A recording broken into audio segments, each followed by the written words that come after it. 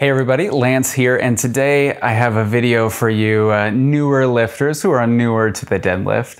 I probably the question I get asked the most is why do my hands hurt so freaking badly when I'm deadlifting?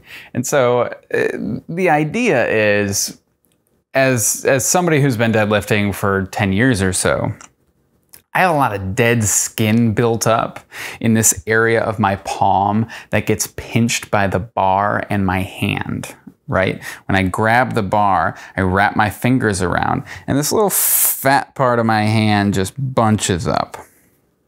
And I get extra pressure where my uh, finger tendons go. And so you have these little, we call them calluses that build up. So when I deadlift, you know, it's not necessarily comfortable, but it's not that bad, right?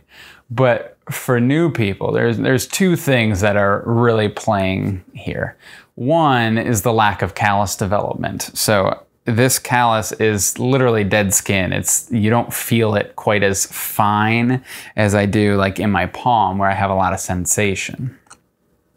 So with time, you build that up and it doesn't hurt so bad. You don't necessarily need to grab gloves or change your grip. You just need to keep holding on and do, you know, the amount of work that you can tolerate. The other point, the second point, is you're just not used to it. It's so new to you, right? This is something that only sickos would do. And I'm sick enough in the head to keep doing that. And you will be soon.